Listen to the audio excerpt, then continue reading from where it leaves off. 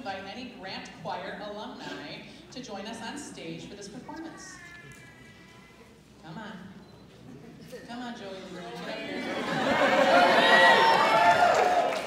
There, up, there's Melissa. We've been talking about you for two weeks.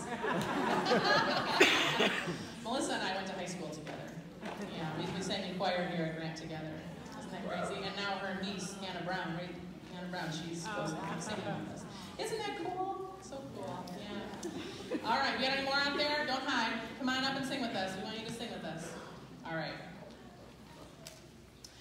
Uh, let's see. All the choirs will now combine to sing the alma mater. And I, I told you that already, so we'll move on.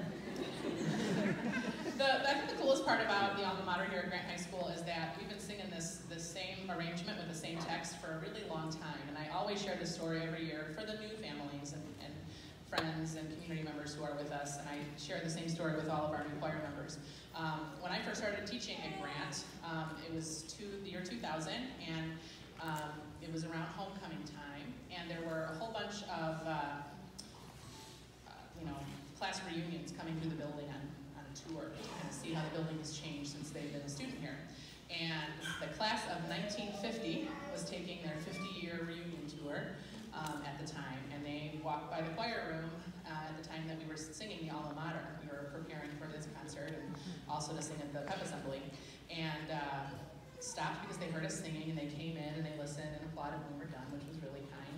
And then one of the gentlemen stayed behind and said, I can't believe this. I was in choir here at Grant High School. I graduated in 1950, and we have we sang that same song when I graduated from Grant High School.